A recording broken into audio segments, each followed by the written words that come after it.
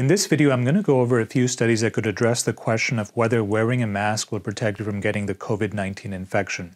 This topic is not all that straightforward, so let me go through the studies that I found, and then at the end of the video, I'll give you my three takeaways on this subject. First of all, let's distinguish between the two common types of masks. There's the so called surgical masks, the ones that you see people wearing all the time in the news, and then there's the more complex masks. Now, to be correct, these other ones are called respirators, they're not called masks.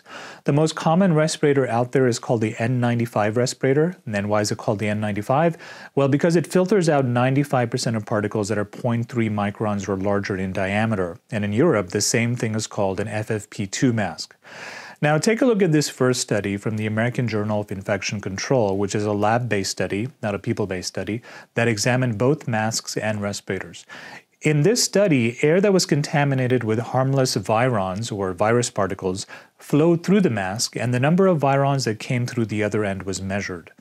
Now, these graphs over here indicate the performance of the two different models of N95 respirators that were studied. For the N95 model on the left, 95% of virions were blocked, whereas the one on the right blocked about 94% of particles.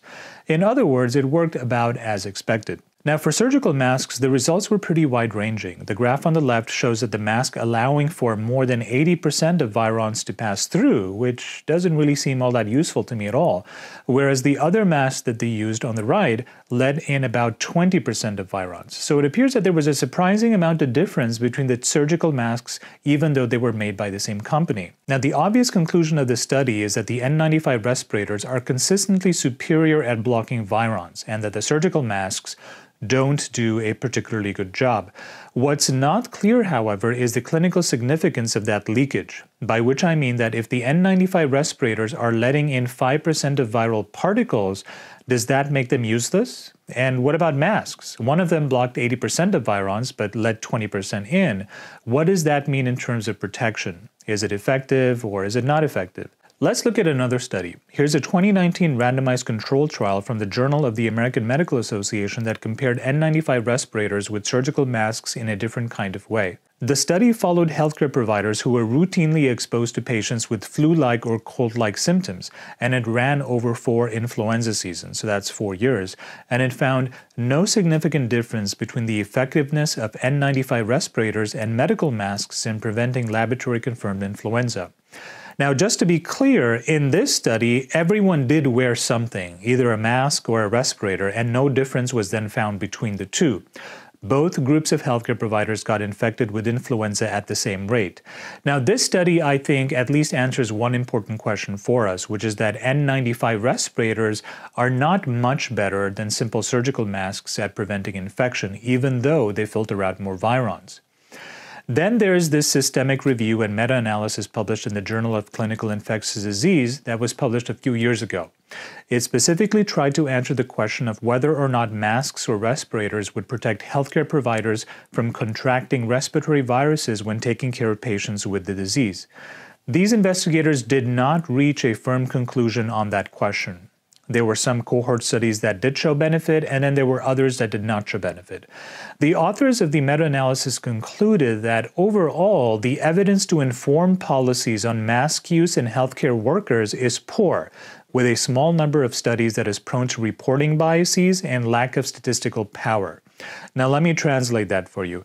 It means that the question hasn't been studied that much, and we don't have that much data on the subject to make really firm conclusions. So that's what that means.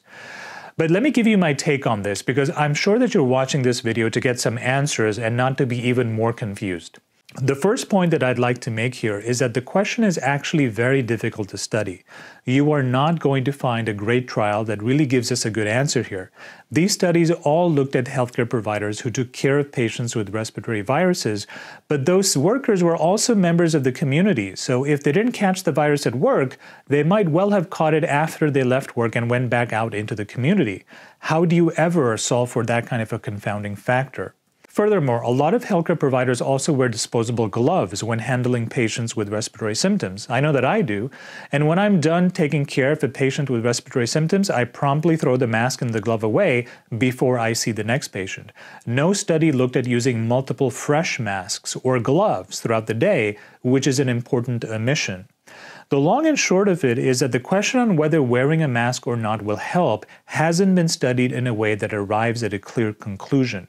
But since we did not find a strong signal in the data indicating that a difference was there to be found, to me, that means that either there wasn't a difference at all, or that that difference, if there was one, was minor, so that it was very difficult to detect.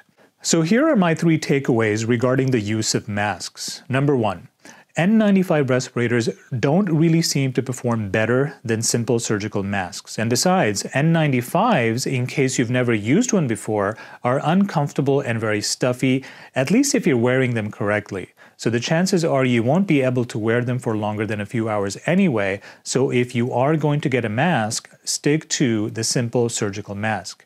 Number two, don't let the mask give you a false sense of security. Don't wear that mask and think that you now have substantial protection. If masks give you any kind of protection, it's minor at best. Number three, your best bet in an area with a COVID 19 outbreak is still social distancing. You can wear a mask all day long, but if you're going to public places when you don't need to be going, you are far more likely to get infected, mask or no mask.